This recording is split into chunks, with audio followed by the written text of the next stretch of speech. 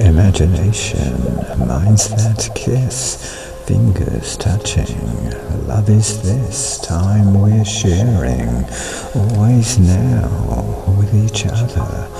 This is how imagination's flowers bloom, sensations meeting in this room, in this space where we are found. Imagination is the sound of synchronizing soul with soul, auras merging, and being whole.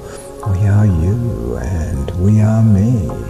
We are everything we see. We are everything we hear, touch, smell, taste, both far and near in imagination, with minds that kiss, fingers touching. Love is this